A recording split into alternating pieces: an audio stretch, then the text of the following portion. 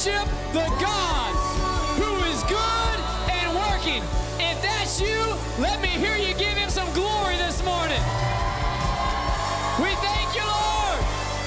Hallelujah. Why don't we remind the world this week that the church is not dead or dying?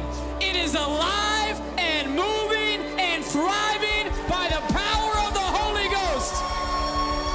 Thank you, Jesus. Somebody tell your neighbor, I'm alive.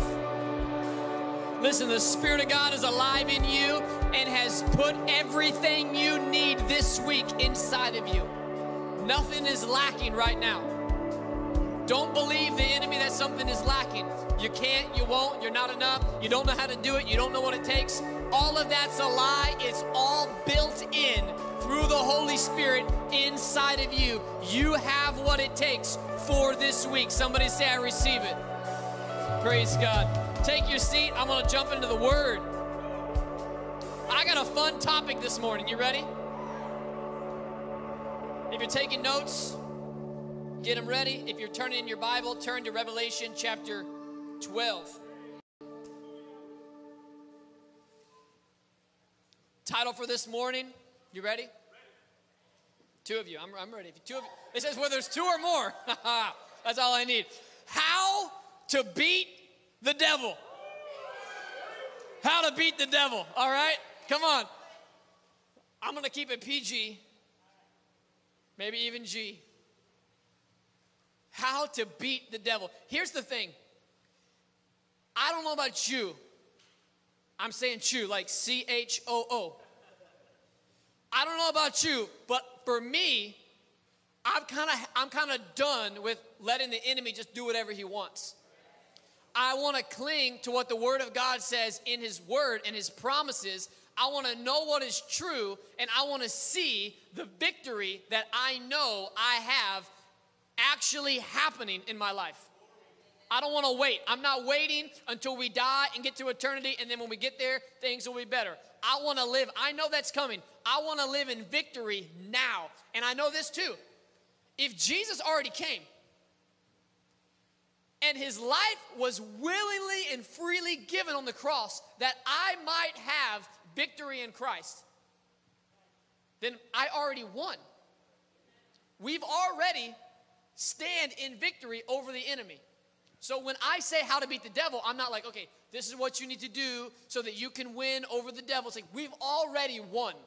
What I want to talk about this morning is how do we celebrate that victory in such a way that we don't go back? You can go back to your sin, you can go back to your past. It says in scripture, like a dog returns to its vomit, so a man can return back to his sin. I don't want to be that guy. Neither do you. I already know it.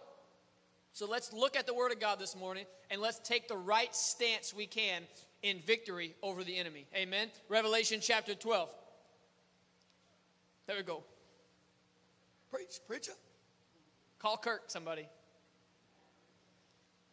Starting in verse 7. Now war arose in heaven.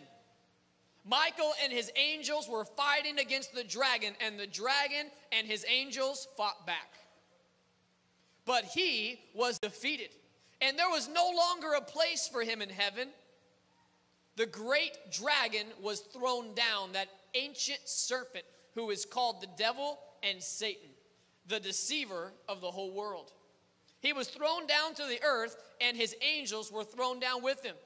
And I heard a loud voice in heaven saying, Now, somebody say, Now. Now the salvation and the power and the kingdom of God and the authority of his Christ have come. For the accuser of our brothers have been thrown down, who accuses them day and night before our God, and they have conquered him by what? By the blood of the Lamb and by the word of their testimony. For they love not their lives even unto death. Therefore rejoice, O heavens, for you shall dwell in them. But woe to you, O earth and sea, for the devil has come down to you in great wrath because he knows that his time is short. How to beat the devil. You've already won. Just stand in your rightful place.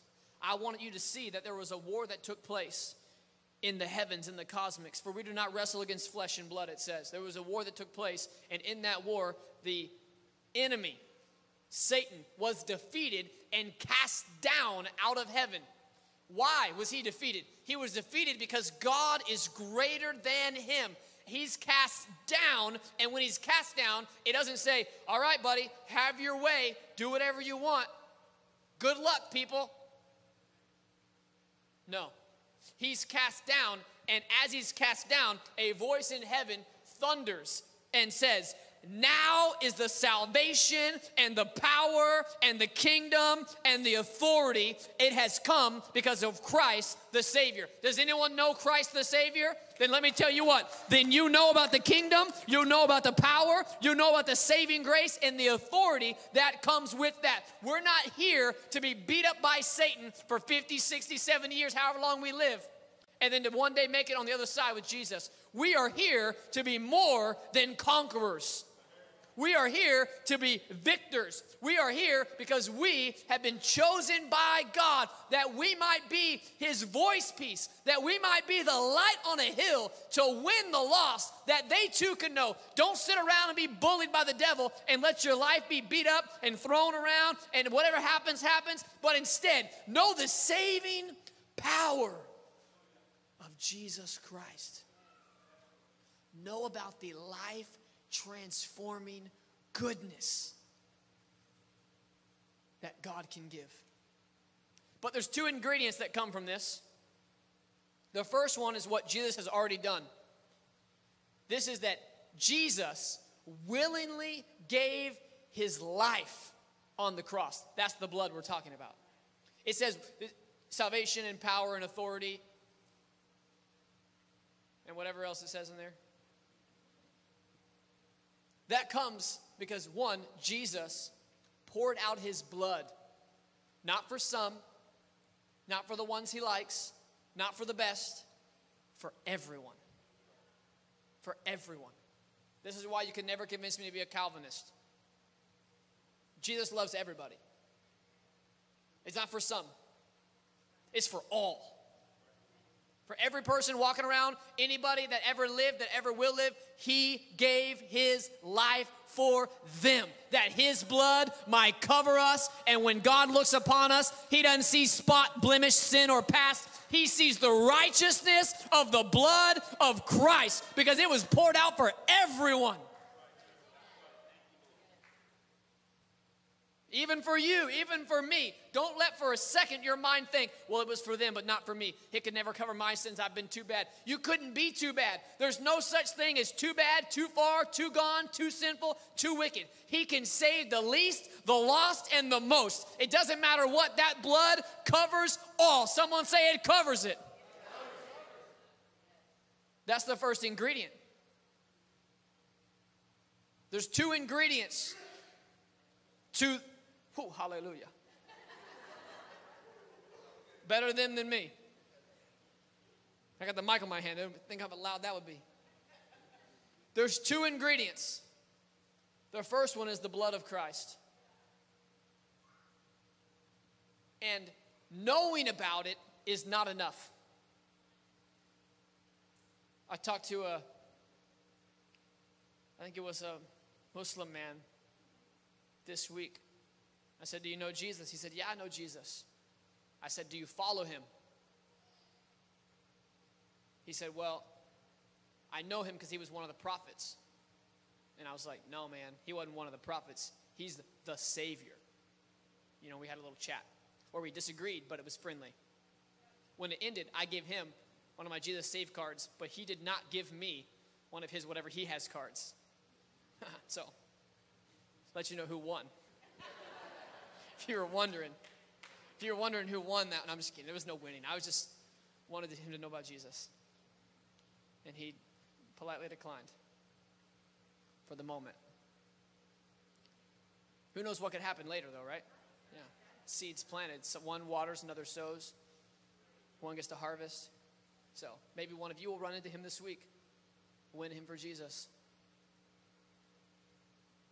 There's a difference between knowing about or knowing Jesus. and following Jesus as Savior and King. You can know about him that he existed in history, that there was a time and place that Jesus was and then he wasn't. You can know all of that, but that's not to bring you power in your life. What brings power is knowing not just him, but that he's your Savior and your King. And this is when the blood of Christ collides with your life and it gives opportunity for the second ingredient to exist. And that is a testimony. A testimony comes only from knowing Christ, and a testimony is not about something lucky that happened to you or something good that happened to you. It is the collision when Christ's blood comes into your life and change is activated in that moment, and you go from being lost to saved in the blink of an eye. And that is your testimony. Now, it can be wrapped in many different ways. You can testify about this, testify about that. You know, God did this, God did my life. You know, like He freed me from that. There can be there can be so many variations of this testimony, but at the end of the day, it is your testimony that becomes the second ingredient to activating this power that kicks the devil's butt. I can say butt. I asked the nine. I said, which one's better, butt or booty? The answer was obvious by the laughter. It kicks the devil's booty. See, it doesn't work the same, all right? Even when you try, this has got to be butt. Bottom, I, I tried that. Doesn't work either. It kicks the devil's bottom. Like, no, it's just not it, right? Rear. Okay, I'm just going to stop.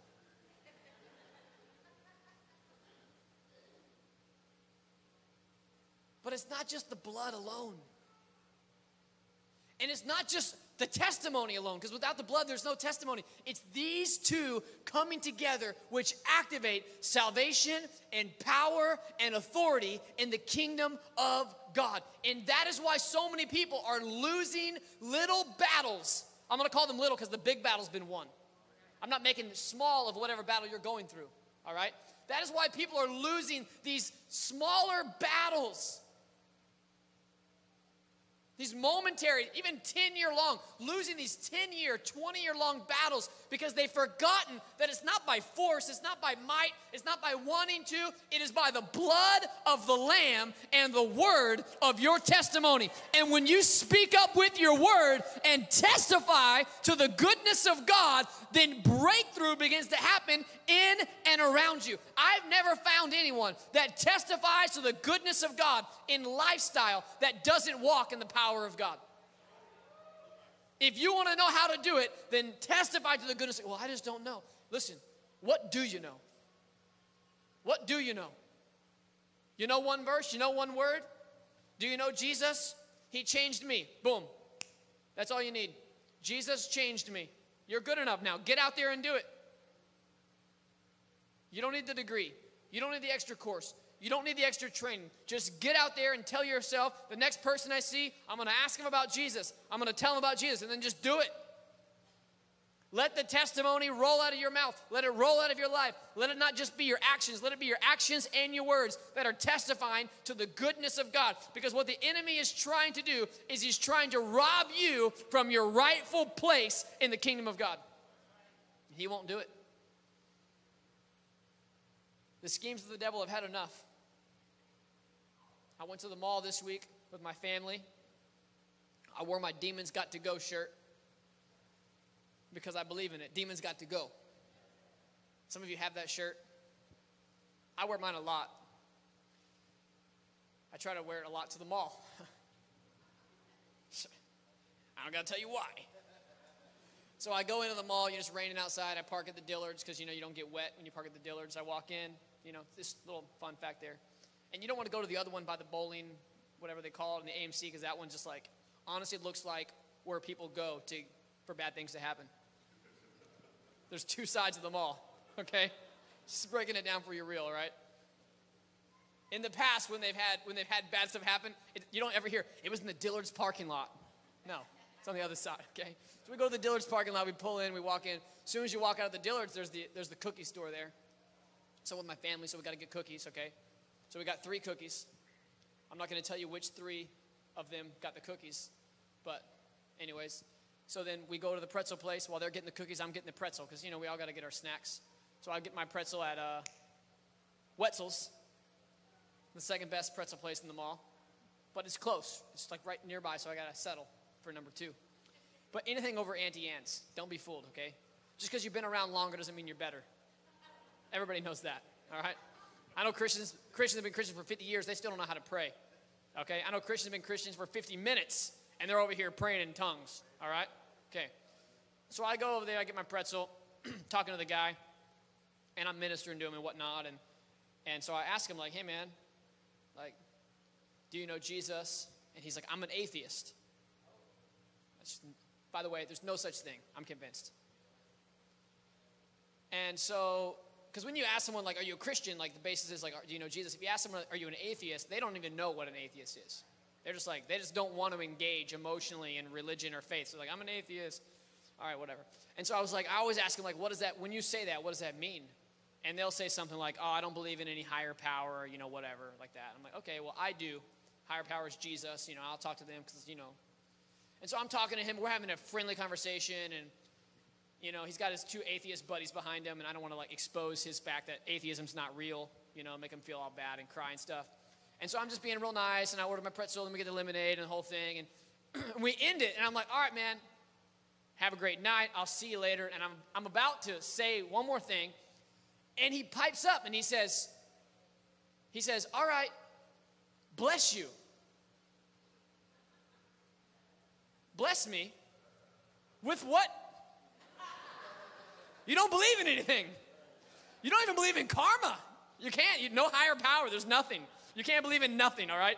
If you find a coin on the ground, it was just because it was on the ground. There's not even luck. You don't even have luck, okay? No skill. If you make a half court shot, gravity did the work, okay? Because there's, I mean, is gravity's a higher power, I guess. No, you can't even have that, yeah. They're in big trouble, okay, these atheists. I don't know how they're, I don't know how they're breathing, okay? Can't believe in air. He says, bless me. And I'm like, I'm taken back. I didn't want to say, by who? But I just said, thank you. God bless you, you know, and just like we had our little moment and we left. So I'm walking around, I'm like, this is so bizarre. I'm walking around later, I got my demon shirt on, and that's what I call it. You understand, though. Demons got to go. Yeah. And so I'm walking around, this guy's like, hey man, I love that shirt. And I'm like, you know, people tell me that all the time about everything about me. No, I'm just kidding. About our authentic merch. I'm just kidding. About our authentic merch. And I'm like, oh man, thanks so much. And he's like, I want one. And I, I'm like, oh, dude, they're all sold out. You know, they always sell out because they're so legit and awesome. And, and I'm like, but hey, wait, hey, take this card. I give him a card. I'm like, hey, look us up, man. We'll get, you know, get you a shirt. And so we're standing there and we're in the middle of the mall and he's got his family and I got my family and he's talking about my shirt. And so I'm like, yeah, man, I'm going to shoot my shot. I'm like, so do you know Jesus? Are you a Christian? And he was like, oh, no, no, no, man. And I'm like, I'm, I've never had that answer before because everyone who likes my demon shirt is 100% before this a believer. This is my first non believer complimenting my demon shirt. And I'm like, you know, it says demons got to go, not demons got to flow, right? So I gotta make sure I got the right shirt on, you know, like. he's like, oh yeah, man, I just, I just love the shirt. It's just a cool shirt. And I'm like, this is bizarre. But then I realized even lost people don't want demons. Nobody wants the devil to actually win in their life. The only people pretending like they want the devil to win is the ones who the devil has lied to and promised that they'll get something good out of it, and they won't. Even lost people are hoping that they can be set free from the power of the enemy. But the only way it can happen is if we speak up by the blood of the Lamb and the word of our testimony. See, there's something inside of you that can release them from demonic stronghold in an instant. And how could we hold that in? How could we hold that back? How could we decide today, oh, I'm just too busy, I'm just too worried, I'm just too concerned? I know that I'm speaking to a church this morning that is positioned to walk and move, not just sit in and hear, oh, that was really great. Oh, thanks so much for that. Oh, oh, praise God. But to actually live in and do the things of God. And when we say preach the gospel, they preach the gospel. When we say speak up and share your testimony, we got we got students this week in their schools, in high school, sharing the gospel.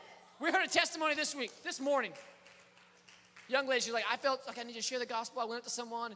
Listen, when you're in high school and you're sharing Jesus, like you're, you could be just setting yourself up, okay, for some great stuff or some bad stuff. All right. I remember one time I was in high school. I went to a private school, and I was worshiping in the chapel, raising my hands, and someone came over. A teacher came over to me and said, "I need you to put your hands down. You're being distracting." So I stood up and put both hands up and told the Lord, I won't drop them until they're done. Don't let my hands get tired. Be a distraction. I don't know. Forgive her, I guess, right? I'm fine with it. It doesn't put any trauma on me. Don't worry, I'm good. And this high school girl went up to one of her one of, the, one of the, her classmates and shared the gospel with them. She was like, "Man, I really hope they don't say no." And share the gospel. And it was earlier in the week, and they said no, no thanks. Which, if you haven't got a no yet, you're not sharing the gospel, right? Because people are crazy. They think they got it already. They don't got it. They just, so they get a no. Well, guess what? She doesn't quit. She shares again another time, and they say yes. And they accept Jesus, and a new person's following Jesus because of someone else's boldness, someone else's confession of the testimony. And that can be you this week. That can be you today, and it should be.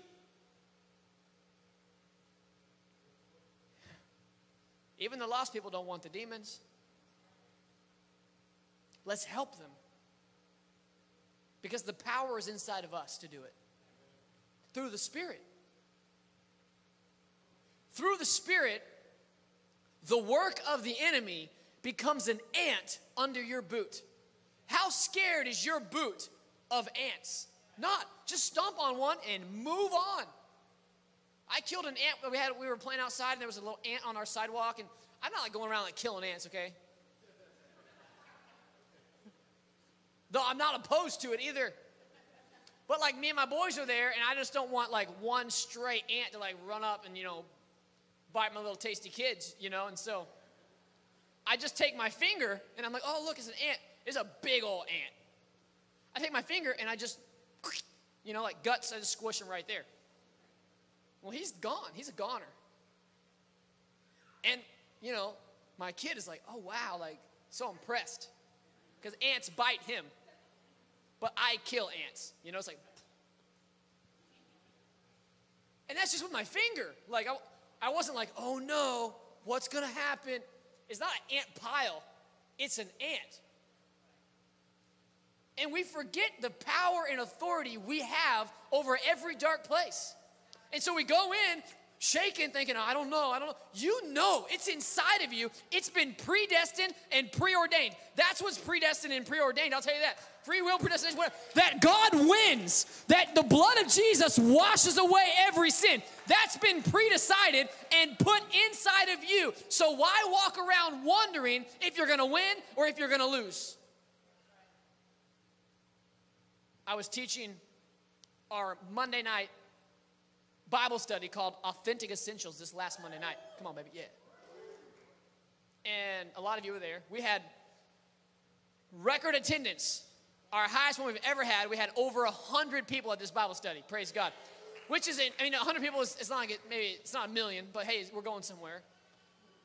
But it, it's cool because we started it with 12, you know? And so to see it grow, and even last year, one year ago, I think our high attendance number was like 60 you know, so we had we had grown all the way to 61 year ago. And so to see that double in a year is pretty exciting. Anyway, so we were on our first one, Authentic Essentials, and we we're studying Habakkuk.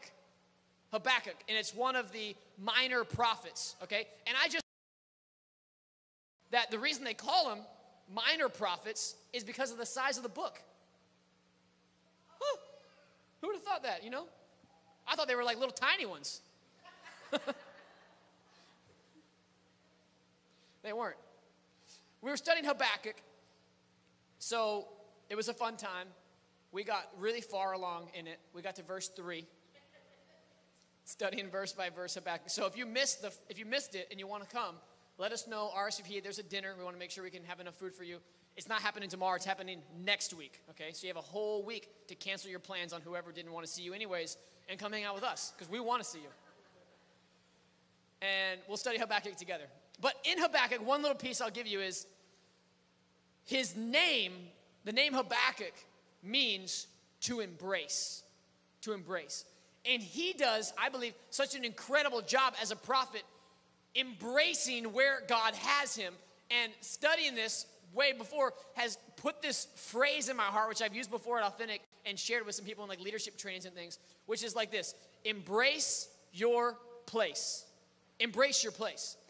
And a fast way to remind the devil that you beat him and you'll beat him over and over again, no matter how much he tries, is when we embrace our place. Now, here's the thing He's constantly trying to convince us that our place is somewhere else. So, I mean, look at it. We, we're, we're on social media, we're trying to live in a different world. They got people walking around or whatever they're doing with like VR goggles and Google Glass and stuff, and it's like, I'm like, you're in a cabin eating popcorn with your friend, but you're not. You're at home, you know, in a different world. And you, you're, you're people like, we want to live in the past everyone who wronged me, all of my hurt, like I'm all just, oh, I can't ever get over it. I can't get past it. I, am abused. I'm a victim. I'm, I'm, I'm wounded. We want to live in the future. Like, oh, what could it be like? It could be greater. It could be better. Maybe it could be worse. Anxiety, stress, depression. I mean, all of it. We're living anywhere except for where God actually has us. That's why I say embrace your place because there's a place God has for you right now, today, this month, this year, in this season, and that place, from there, God's anointing flows. But from the past, His anointing doesn't flow. He's a God living right now. He doesn't say, I was, He says, I am. He doesn't say, I will be, He says, I am. He's the God of the right now. So I encourage you this morning on that. One, come to Authentic Essentials, we'll study the Word of God together. But I encourage you this morning with that phrase embrace your place. Because from that place flows the freedom that you and those around you need. Now, let me help align you to your place, all right? Your, your embracing your place is not saying, well, my diagnosis is cancer, so I'm gonna embrace that. You can if you want, but that's not your place that Scripture has for you. Well, my, my marriage is just on the rocks. I just have to embrace that. No, you don't have to embrace that. Well, my loved one isn't following Jesus. I just got to embrace that. No, you don't have to embrace that. My life is chaotic right now. I don't have any friends. I just got to embrace that. No, no, that's not embracing your place. That's embracing the enemy's place he lied to you about. Embracing your place is saying, Doc, I hear the diagnosis, but I also know that my God is the healer. Embracing your place decides cancer, you're not gonna have the final word on me. I'm gonna have the final word on you. You're gonna run from me. I'm not running from you. This is my place. This is where God placed me in a place of freedom and healing and blessing, not in a place of suffering. I embrace my place not embracing my place on what the world has for me. I embrace my place on what God has for me. I embrace the place where the blood of the Lamb, that's the blood of Jesus, meets my life and creates testimony to take forth. So I know if that's my diagnosis, it's not for the, my demise, it's for my testimony. If that's my report, it's not to break me down, it's to build me up. I know what I'm here to do and who I'm here to be. And the word is getting out right now from the people of Authentic that God is a miracle working God and He's moving through the people that are right here. So don't be surprised this week when you get calls of people that want to pray with you, when, when they're asking you to come visit them, when they need you. Don't be surprised and don't put them off because they need the testimony that's inside of you to unlock something inside of them. They need to learn how to embrace the rightful place that God has called them to do and not the wrong place the enemy is calling them into. I got an email and a phone call this week, two in one week, asking me to go visit two different people that I don't know that have stage four cancer.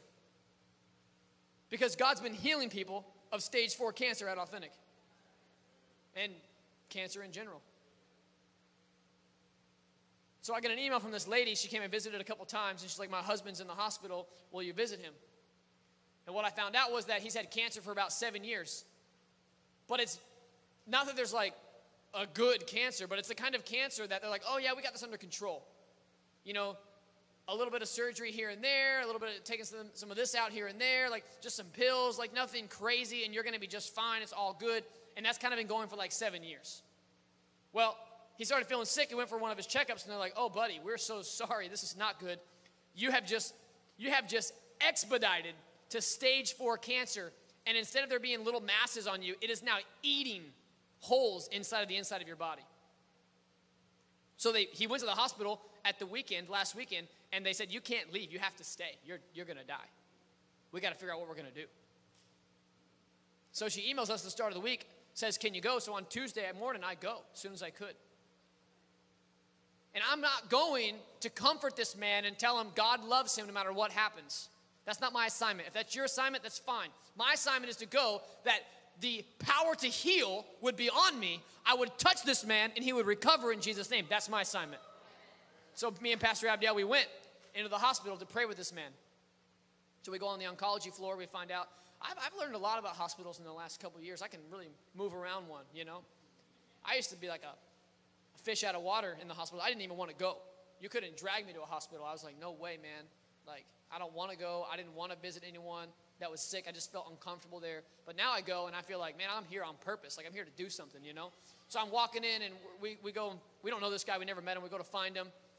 And we're, we're we, we, we find him. We walk in.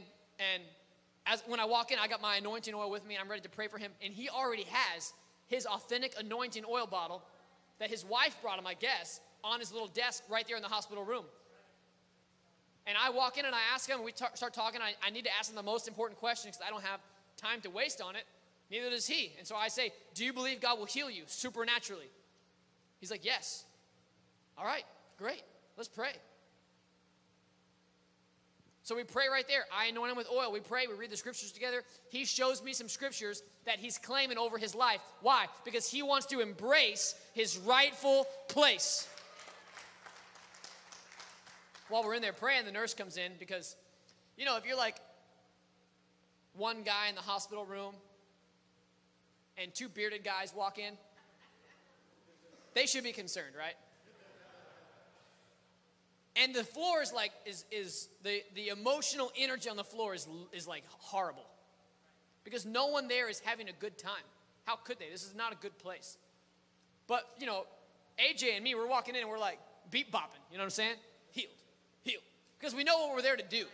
So i'm not letting the like emotional energy of the floor change what my assignment is there to be. I'm filled with joy i'm filled with the holy ghost and i'm there to heal people okay? So we were very sus so the nurse came in and she was like piddling, you know, with something. She's like, I got to come change the uh, vein plug drain er. I'm like, ah, that's not a thing. So she's just like winding up some cords, unwinding some other cords, while she's just kind of spying on us to see are we like selling this guy some, you know, taking his money or something. I don't know what you thought we were doing. Well, we were, yeah, selling him some life insurance or whatever. I don't know, man. I was selling him some healing and it cost zero dollars. All faith. So on the way out, you know, I'm, I'm there. I'm in the mode. And so we're walking down and this lady is walking down and she seems like she's having a horrible day. And so I was like, hey, how you doing? She's like, not that great. I said, why are you here? Which is I mean pretty good indication, right? She's like, oh, my husband has cancer. And I was like, oh man, how is it? She's like, it's terrible. Stage four, it's everywhere, and the whole thing. And I was like, Well, we're here praying for people. Do you want us to go pray for him? And she's like, Oh, he really wouldn't like that. And I'm like, Okay, well. She said, Plus, the priest already came by. I couldn't help myself, so please forgive me. I said, Does your priest see miracles happen? And she's kind of like, uh, uh, uh, and I'm like, no. So I'm like, man, we could see a miracle happen. And she's like, oh, I just don't know. Like, so I pull, I had the anointing bottle anyways because the other guy already had one and I had hang, hung on to it. And so I said, Here, listen, this is a bottle of anointing oil. Let me give it to you. Let me anoint you. You, you're not gonna let, he's not going to let me come up there. Why don't you go up there and you lay hands on him and you tell him that he's healed? God will do it. And she's looking at me like, Sir, I'm trying to go to the cafeteria. You're an insane person. But what if she does?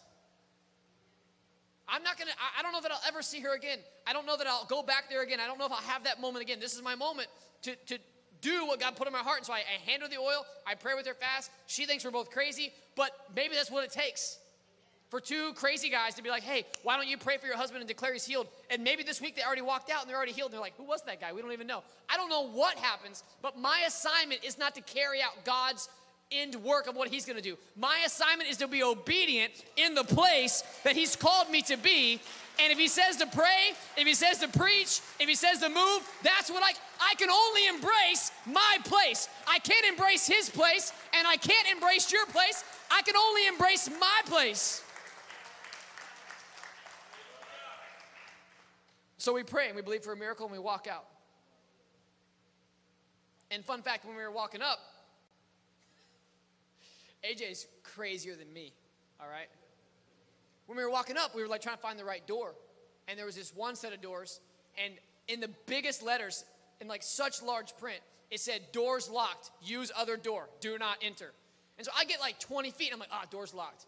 And he goes, No, man, not for you. and I'm like, Yeah, not for me. You're right. Because there was like doors like 100 feet or 200 feet down that way. And I was like, what's it gonna hurt? And so I start walking up. Those doors open up. I don't think they were supposed to. And we're like, you know, walking in the back halls of the hospital. I'm like, this is crazy. And it was, anyways, it's, praise him. So I took a video of it. So don't be surprised if it if it's out there on the internet machine and you find it. You know, on the Institute if it's out there. Let me take you to Matthew chapter 4. Somebody say, embrace your place. Your place is not sickness. Your place is not pain. Your place is not your past trauma. Your place is with Jesus in a place of God's presence. That's your place. Matthew chapter 4, starting in verse 1. There's three times in Scripture where the devil comes after somebody. All right? So when I say we're going to beat the devil, we're beating the, the enemies of the devil. I don't know that, that any of us are, are the ones that he's, that he's like specifically coming after but he is sending his demons. Okay, don't be confused. Eve in the garden, Job, when the devil asked for permission to attack Job, and uh, Jesus. We're about to read it right now. So when people are like, the devil's attacking me, be like, oh, well, I mean, he sent like a, like a low grade messenger, maybe, you know? So just stomp on him and move on. Okay? If you already defeated the devil, then what are you concerned about his little, his little peons? You know, it's like not a big deal. Just beat it and move. Then Jesus was led by the Spirit into the wilderness not the place you thought he was going to be led. Maybe like into a palace, into a place of comfort. This is Jesus we're talking about. And all of us want to be led by the Spirit, but remember where the Spirit led Jesus the wilderness. To be tempted by the devil. It's looking pretty bleak. Then, after 40 days and 40 nights of fasting, he was hungry. Anybody fasted recently? Were you hungry? And the tempter came to him and said, If you're the Son of God, command these stones to be turned into uh, loaves of bread.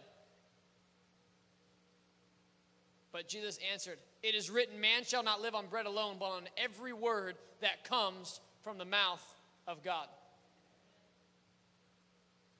Then the devil took him to the holy city and set him up on the pinnacle of the temple and said to him, If you're the Son of God, Throw yourself down, for it's written, He will command His angels concerning you, and on their hands they will bear you up, lest your foot strikes against a stone. The devil comes and tempts Jesus. Jesus quotes Scripture. The devil quotes Scripture back. Don't think he don't know it. He'll take it, he'll mend it, he'll mix it, he'll twist it, he'll turn it, bop it. What else do you do to it? You played it. He'll do whatever he can to get you confused about where your rightful place is. Listen, he's talking to Jesus and he's saying, Hey, if you're really the Son of God, if your rightful place is really at the right hand of the Father, then prove it by doing what? Turning this bread. jumping off this building. You won't fall. You're the son of God. He can't afford to waste this mission. If you're really, if you're really, no, no, you look him right back in the eyes and you say, Really, Satan? I am. Everything that God says I am.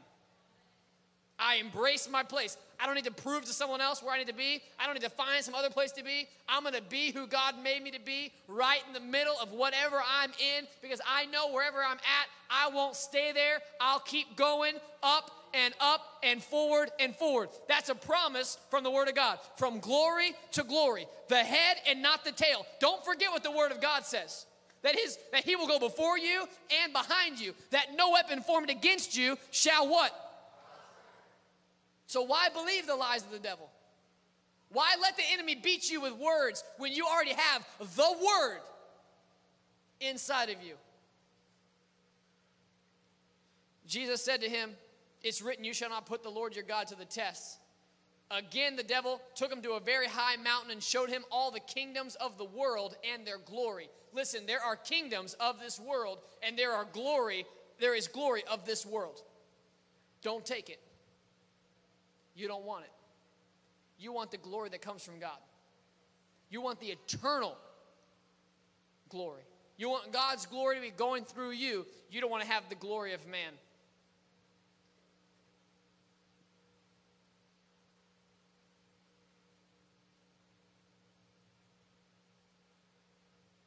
And he said to him, as he showed him all the kingdoms of the world and their glory, All these I will give you if you will fall down and worship me, then Jesus said to him, Put this one in your bank for this week. Be gone, Satan. For it is written, You shall worship the Lord your God, and only him shall you serve. Listen, I embrace my place, and the best way to embrace my place is with praise to the Almighty King. I'm gonna worship God, and him alone shall I worship. And Satan already knows, he's, he's realized the, the worst truth that any area of our life that we don't let God have praise will turn into pride. And when it turns into pride, we're worshiping something else other than God. And that's not where we want to be. If you're doing well, give God praise. If you're going through the hard time, give God praise. Let it be the testimony of what you do. I, like I said before, I've never found anyone that knows how to give God praise that has to just keep struggling and keep struggling and keep struggling. Break free from the cycle of learning the same lessons over and over again. Why keep making the same financial mistake? Why keep being broke all the time? Why accept a poverty mindset? Why accept that you're going to struggle when you know that God has called us to prosper in every way? So, why let that cycle keep going? Break free with your praise, embrace the place that you're supposed to be in, and claim it. No, this is my place. If I am a child of God, tell the devil, be gone. I'm a child of God. If I am really saved, tell the devil, be gone, I am saved.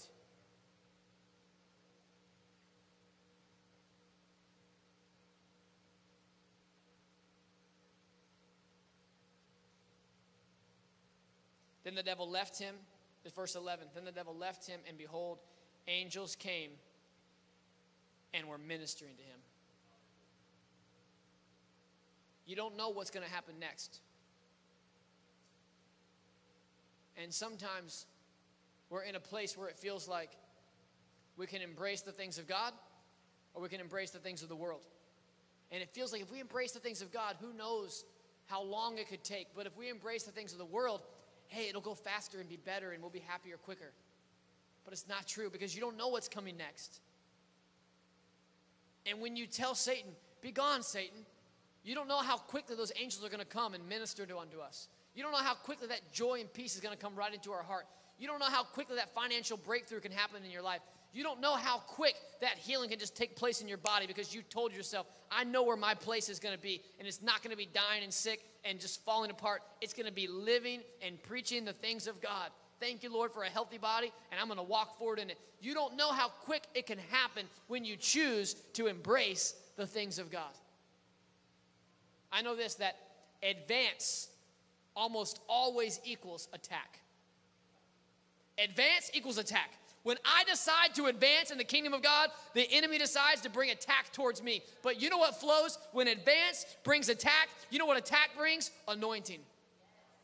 Don't forget that last piece because advance doesn't bring just attack and now I'm just under attack. It brings anointing to break that attack and go to the next advance. Anointing to break that attack and go to the next advance. Anointing to break that attack and go to the next advance. That anointing keeps me, though I might be under attack, it reminds me that that attack is under my feet, not raining down on my head. That attack is making me more like Christ, not breaking me away from the things of God. That attack is releasing anointing in my life that will set captives free all around me.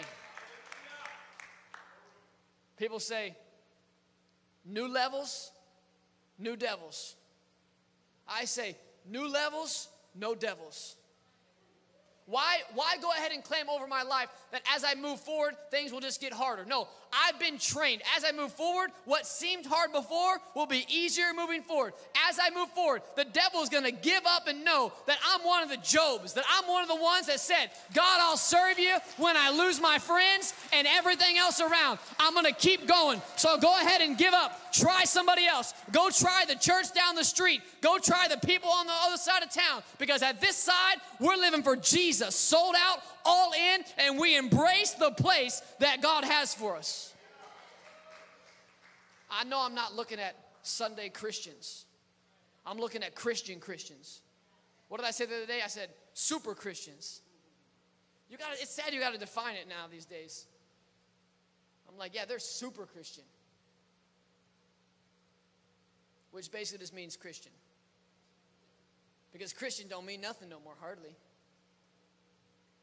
Going to church hardly means anything. You don't know, man. They, do they really go? Like, how often do you go?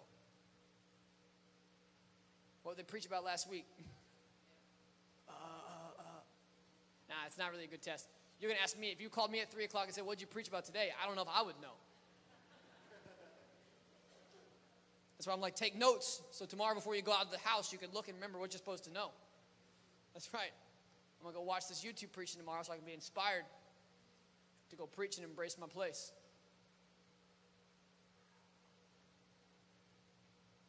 It's time to put an end to the enemy winning in our life and taking victories over us that he should never get. And if we will embrace our place as rightful believers, as super Christians, then we'll see that power that needs to flow through us flow. You will see people get healed. You will see people get set free. You will see people saved. And you'll think, oh man, God's really doing it through me. And that advance will bring greater anointing on your life that you might have even greater advance. This is not about growing a church building big. This is not about having a larger ministry. This is not about seeing how many people can be here or how many services can we go to. All of that is overflow. This is about raising up spirit filled believers that say, Devil, you shall not have my family or my home or my life. The blood of the Lamb and the word of my testimony shall defeat you every single time. Somebody say, I'm gonna win. That's what it's about. I wanna see, I wanna see revival embraced in our city. I want to see the people of God rising up to the rightful place. You've read the story in Scripture, maybe. If you haven't, I'll summarize it for you.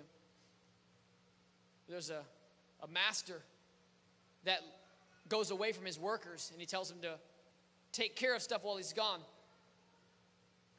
And when he goes, he, he gives each one of them a certain number of talents.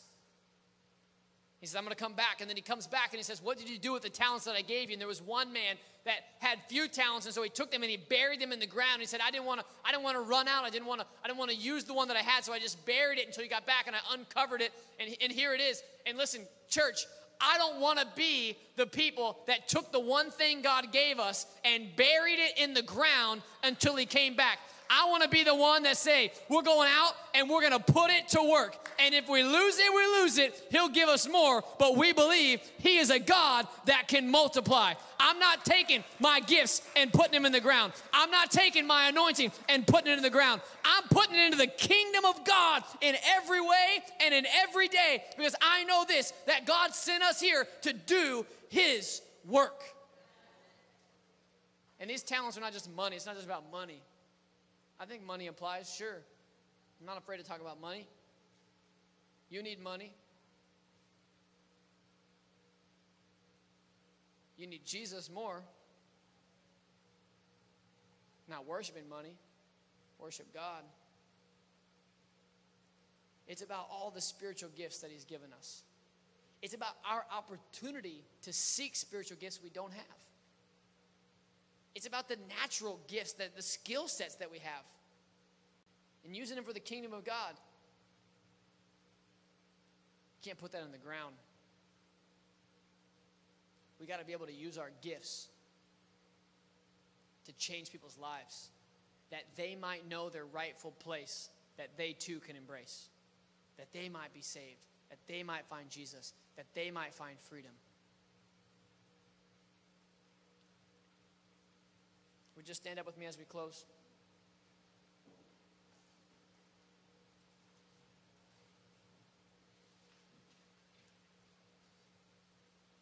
I want to remind you that people respond to hope. You know, when I walk around and am just like normal friendly to people, like normal friendly for me is like super Christian friendly to some of you. It's just like when you walk by and you see someone you don't know them and you're in the grocery store, you just smile and you say hi. Okay, I know that might seem like totally bizarre. Obviously, you get it. Thank you for saying it right. The rest of you are apparently very rude. Um, but like you just walk by someone and they're, they're not going to say hi to you because they're like so busy with their life or whatever. But you just walk by them, and as you walk by them, you look at them, you make eye contact, and you smile and you say, Hi. And usually, like eight out of 10 times, they like take off their, their crazy face for a second. They look at me and they say, Hi. Because people want to hope in something, they want to. But I'm not just out here saying hi, passing around smiles and being like, oh, great for you. Smile. I got a smile from them, that's making their day. I'm out here reminding them that the hope is in Jesus. Everybody wants something to hope in. You and I have something to hope in. So this week, don't just don't just smile and say hi. Take every opportunity you can. You don't know what their day was like. You don't know who just chewed them out. You don't know who just died in their family. You don't know what hard thing they just went through. They got fired. Listen, and they don't know yours. But they may not have the blood of Jesus on them, helping them through everything they're going through. They may be stuck right where they're at.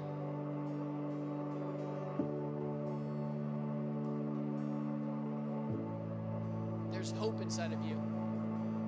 And everyone, lost, saved, if there's anything in between, is hungry for that hope. That's what they want. I want to take opportunity right now. If there's anyone in this room that you haven't given your life to Jesus yet, don't leave today and not have made a significant choice. It's by the blood of Jesus Christ and by the word of that testimony. And there's no testimony until we receive Jesus Christ, not as a person, not as a prophet, but as our Lord and our Savior. And if you're here today and you're not following Jesus for real, for real, you're here today and you're not a super Christian, make today your day. Follow Jesus. It's simple. He will forgive you of all your sins. You say, I confess with my mouth and believe with my heart that Jesus is Lord. And then thank Him for forgiving your sins. If you're here today and you want to do that, I would love to help you make that decision. I want to pray for you just a second, but if there's anyone here that hasn't chosen to follow Jesus yet, on the count of three, I'm going to ask you to shoot up your hand. We had, I think, at least two at 9 o'clock do that. Praise God for them. People coming to Jesus. But maybe there's some here right now that need to follow Jesus. If you're here on the count of three, shoot your hand up so we can pray with you. One, two, three. Anyone in the room? One right there. Praise God. Was there another one? Right here. Praise God. Two right there.